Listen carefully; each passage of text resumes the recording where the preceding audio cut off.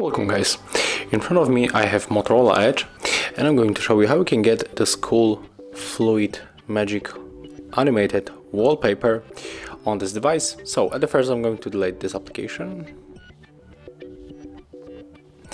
Okay, and right now we have to move for the Play Store.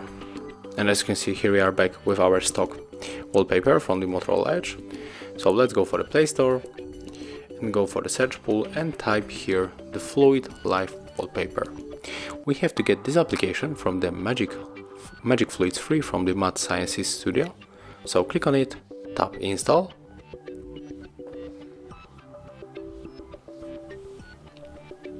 Right now we can open it. Here we have to tap on the right corner, then tap to set as a live wallpaper. Here we get the preview, how it's going to look.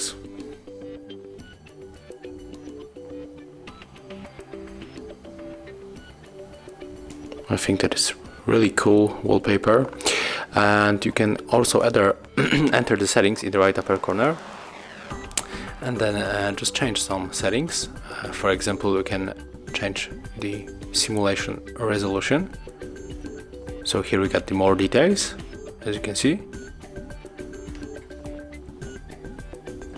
You can also go for the recommended and then go for the paying quality. And let's change it and go back and right now let's try it. And here we got also more more more details. Okay so uh, right now when you want to set up as the wallpaper. We have to click here set as live wallpaper and tap just set as wallpaper. So right now when we go back to our main screen oh here you can see our wallpaper. And as you can see that's how it looks.